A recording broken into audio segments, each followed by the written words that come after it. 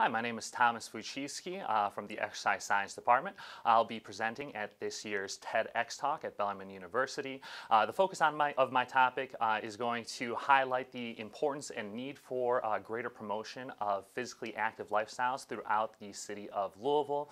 Uh, when looking at a variety of health-related outcomes, uh, social and environmental challenges currently facing this city, we realize that we do have a, an incredible way to go in terms of changing things for the better and improving improving the lives of all of our citizens. Uh, and one way in which we can combat those issues simultaneously independent of things like age, race, ethnicity, sex, socioeconomic status might be through greater engagement in physical activity behaviors, specifically greater engagement in active transportation, and even more so, greater engagement in walking behaviors.